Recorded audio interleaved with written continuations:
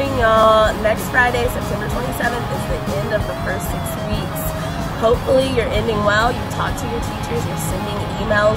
You have a study buddy at this point, so when you're absent, they can give you the notes, and you are present in class, asking questions, taking notes, and making sure you are the best student you can be. Don't be afraid to reach out for help if you need it, y'all. Have a good day. President Barack Obama launched the My Brother's Keeper MBK initiative to ensure that all boys and young men of color have opportunities to improve their life outcomes and overcome barriers to success. In addition to weekly chapter meetings, MBK participants visit area college and university campuses, attend leadership camps and conferences, and meet local business and government leaders. If you are interested in being a member of My Brother's Keeper, please stop by the counseling office and see me, Miss Fowler, for more information. Have a wonderful day.